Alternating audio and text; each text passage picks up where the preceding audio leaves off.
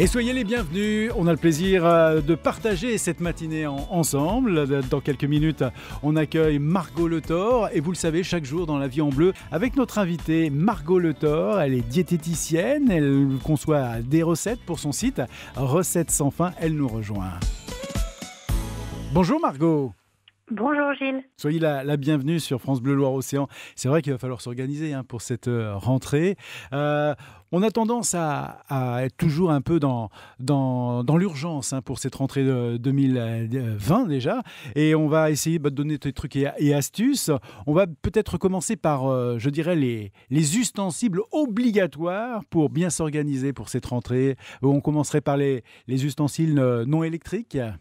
Alors tout à fait Gilles. Donc l'idée c'est de, ne pas encombrer la cuisine, euh, donc d'avoir des placards, un, frigo bien rempli avec euh, des aliments de base évidemment, mais surtout avoir un minimum d'ustensiles qui ne coûtent pas cher, qui ne prennent pas de place et qui sont très pratiques.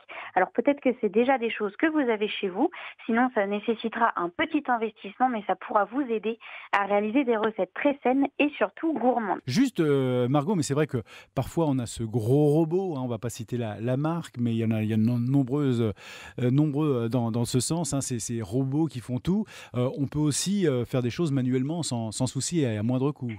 Alors tout à fait, le robot n'est pas du tout une priorité. Ce qu'il faudra se poser comme question, c'est est-ce qu'on a besoin d'un robot? Quel budget on va pouvoir mettre dedans?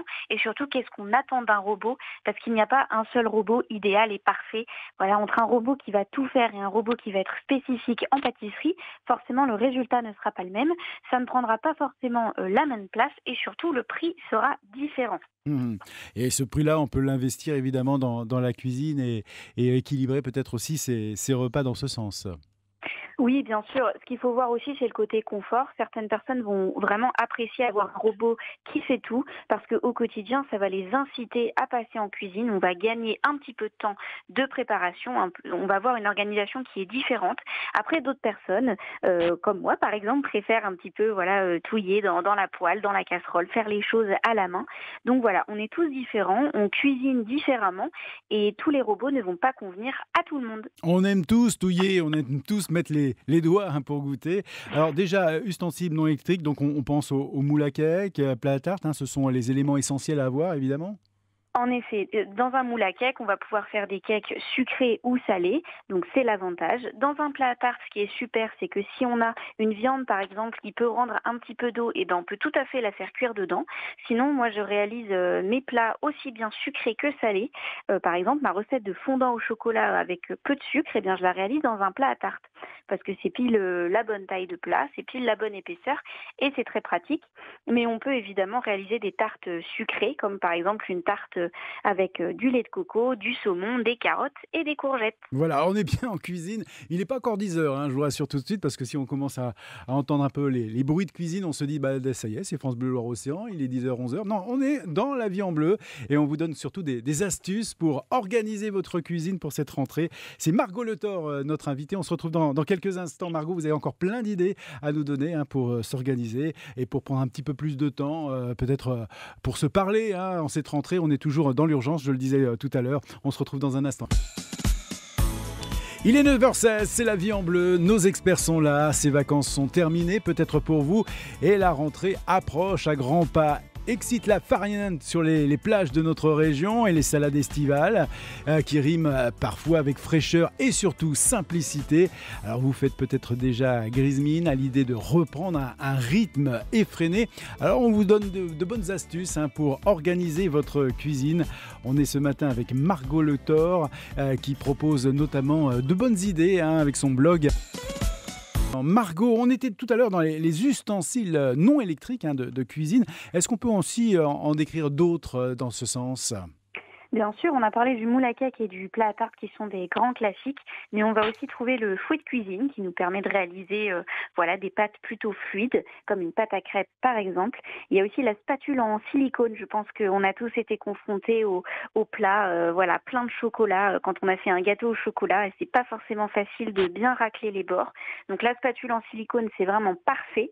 la planche à découper, un ustensile de base évidemment, et puis des poêles et des casseroles, soit avec un revêtement anti-adhésif, soit tout inox, en fonction de vos habitudes. Mais déjà, avec ça, vous pouvez réaliser des préparations sucrées et salées. Oui, parce que la différence, c'est quoi L'inox, il y a, chacun, chaque objet, enfin chaque ustensile a, sa, particularité, ses avantages, ses inconvénients Évidemment, quand, on part sur une poêle ou une casserole avec un revêtement anti-adhésif, euh, le but principal, c'est vraiment d'éviter que les préparations n'accrochent. Dès qu'on part sur de l'inox, forcément, euh, il, va euh, il va y avoir des préparations qui vont s'accrocher un peu plus.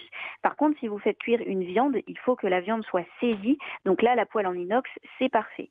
Pour tout ce qui est sauce ou autre préparation, si vous avez un petit peu peur que ça accroche au, fond du plat, je vous conseille les poêles et les casseroles avec un revêtement anti-adhésif. Mmh, bon, là on a, fait le tour en fait des, des bons outils pour bien cuisiner et prendre le temps peut-être de préparer de bons petits plats. Là, c'est les éléments de base.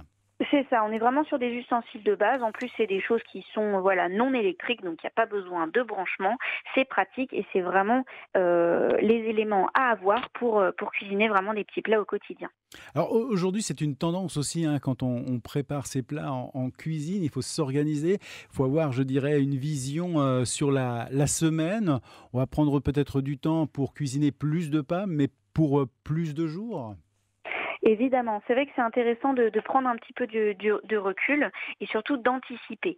L'idée, c'est de lister quelques recettes euh, qu'on a envie de cuisiner sur la semaine. Alors pas forcément toutes les recettes hein, pour euh, le lundi matin, le lundi midi, le lundi soir, mais lister quelques idées de recettes, faire les courses en fonction évidemment pour acheter tous les ingrédients nécessaires et puis surtout, quand on cuisine quelque chose, cuisiner en plus grande quantité.